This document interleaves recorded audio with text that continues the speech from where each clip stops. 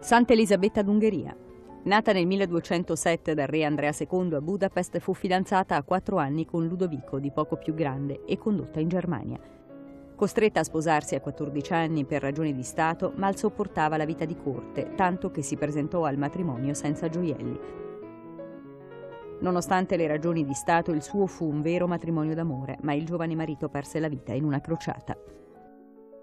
Privata dei tre figli, decise di diventare terziaria francescana e di dedicarsi alle opere di misericordia costruendo un ospedale.